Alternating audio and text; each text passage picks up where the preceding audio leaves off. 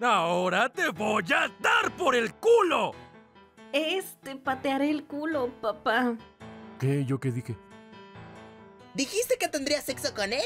Mm. ¡Jódete! ¡No pongas esa cara! ¿No sabes otra cosa que no sea coger?